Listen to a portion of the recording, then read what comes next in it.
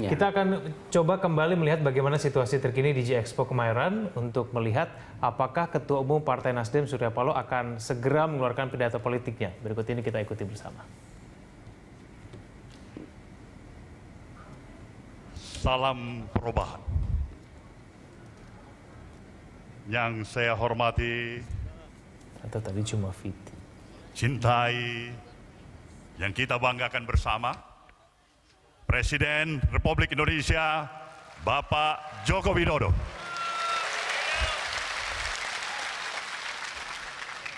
Pimpinan lembaga tinggi negara,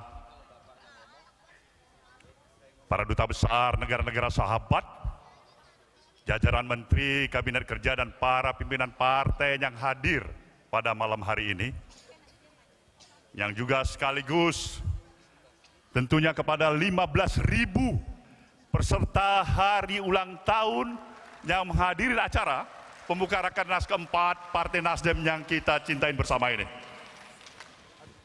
Saya juga memberikan apresiasi tentunya kepada para pengurus partai Nasdem yang hadir dari 34 Dewan Pimpinan Wilayah, 514 Dewan Pimpinan Daerah, dan tidak kurang dari 7.194 Dewan Pimpinan Cabang se-Indonesia.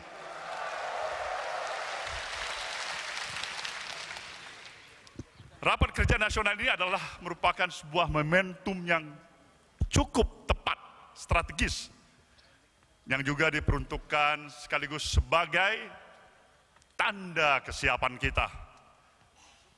Tanda kesiapan kita dari Partai Nasdem untuk menghadapi pemilu serentak, pileg maupun pilpres pada tahun 2019 yang akan datang.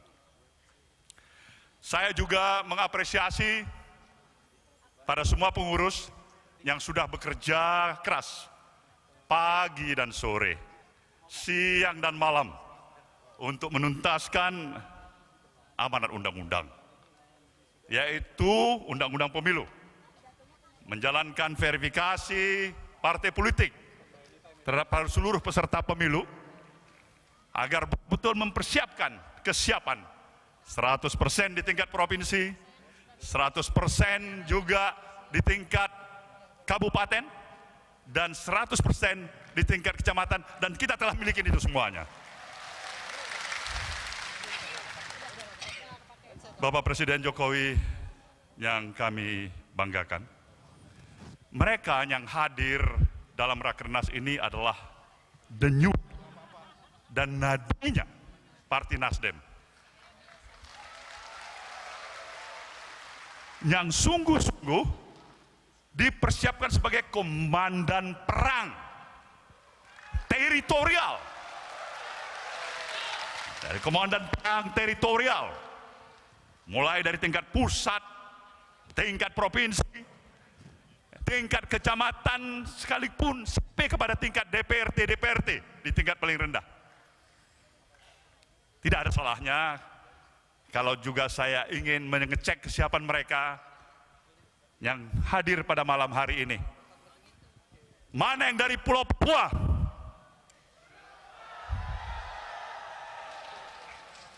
Mana dari Pulau Maluku dan Nusa Tenggara? Pulau Sulawesi? Pulau Kalimantan? Pulau Jawa dan Bali? Dan tentunya mana dari Sumatera? Mereka sudah siap benar-benar hadir bersama dengan Bapak Presiden pada malam hari ini di tempat ini.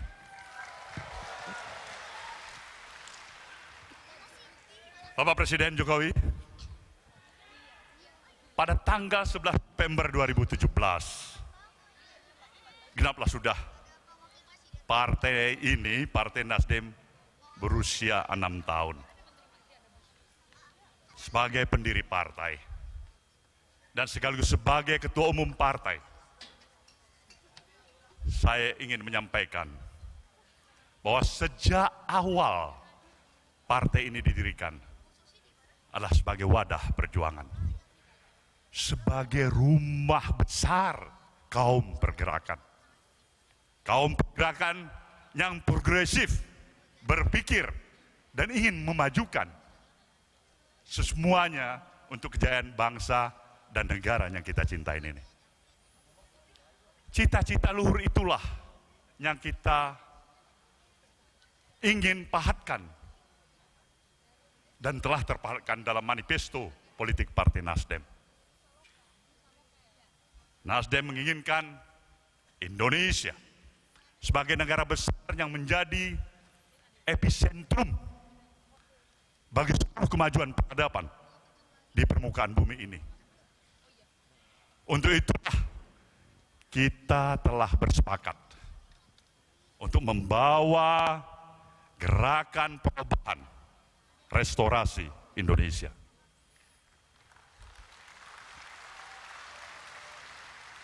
Nasdem juga didirikan sekaligus sebagai antitesa organisasi perjuangan.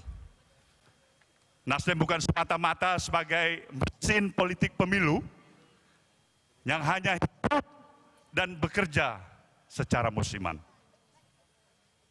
Nasdem didirikan tidak untuk menambah juga jumlah peserta pemilu semata-mata tetapi Nasdem didirikan dengan sebuah platform politik gagasan yang ideologis. Nasdem dibangun di atas fondasi dan dedikasi cita-cita kaum republikan. Para founding father bangsa ini, ya Bung Karno, ya Bung Hatta, ya Bung Sahrir, ya Bung Cokro Aminoto, dan lain-lainnya. Sebagai satu kesatuan aksi antara kata dan perbuatan. Antara ide dan integritas kaum perjuangan. Bapak Presiden yang kami muliakan. Apakah cita-cita Nasdem ini, kalau ada pertanyaan, sudah tercapai? Kalau ada pertanyaan, apakah cita-cita Nasdem sudah tercapai? Saya katakan secara jujur, sejujur-jujurnya, masih jauh, masih jauh sekali dari apa yang diinginkan. Apalagi dari cita-cita para proklamator bangsa ini. Tapi juga perlu dicatat. Dengan jelas dan tegas. Bahwa ada kemenangan kecil. Satu kemenangan kecil. Yang telah tercatat sebagai satu tonggak. Yang sudah ditancapkan oleh partai ini. Yaitu sebagai partai baru, partai memiliki modal. Sedikit-dikitnya ada kepercayaan suara rakyat. 7 persen pada hasil pemilu tahun 2014 yang lalu. Kita juga sudah memiliki. Ah, ini yang paling pokok ini. Kita sekarang memiliki Presiden Jokowi. Presiden yang diusung secara totalitas oleh partai ini.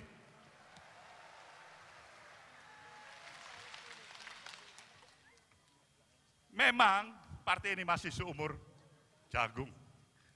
Tapi saya sampaikan juga, kami memiliki mimpi-mimpi besar. Mimpi-mimpi besar. Pak Nasdem juga berpraktek memang secara tidak lazim. Saya sering membahasakannya dalam apa yang saya sebutkan dengan istilah cara berpikir yang out of the box. Kita menerapkan cara-cara baru dalam berpartai. Cara-caranya menunjukkan jati diri kita sebagai partai modern yang menggunakan pendekatan profesionalisme dan moralitas. Antara ilmu pengetahuan dan juga integritas. Tentu masih ingat bagi sebagian yang mempunyai catatan pinggir paling tidak. Yaitu partai inilah satu-satunya partai yang juga sekaligus sebagai peserta pemilu pada tahun 2014 yang lalu, aneh, menolak dana saksi, dana saksi yang sudah disediakan oleh APBN.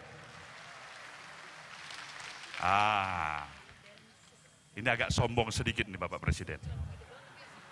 APBN sudah siapkan dana saksi, hampir 70 miliar, partai kecil. Baru mau ikut pemilu sebelah tolak. Malu untuk ngambil dana APBN.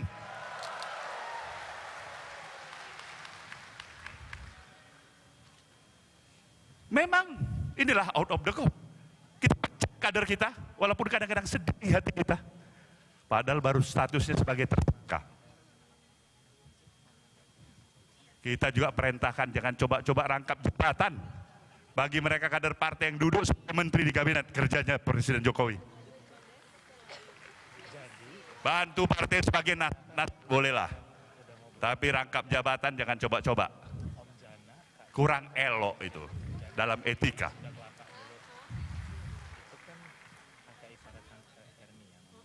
Dalam membangun proses pendidikan politik yang berkelanjutan terhadap kader partai ini, maka partai ini juga mendirikan akademi bela negara ABN